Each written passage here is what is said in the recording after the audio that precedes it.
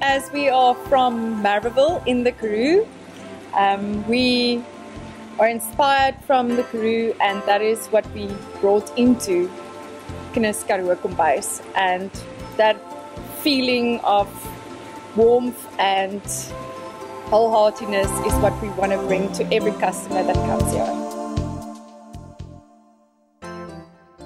Our focus in um, is roosterkoeke and also nice, very nice Terbodore coffee. And we also sell CBC Amber Weiss um, on tap. Sometimes we switch it, but at the moment it's Amber Weiss.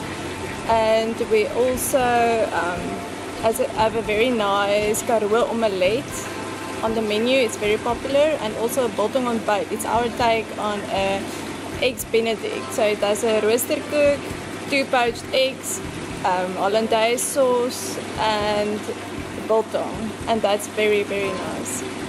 We also sell um, Karoo inspired products um, in our gift shop.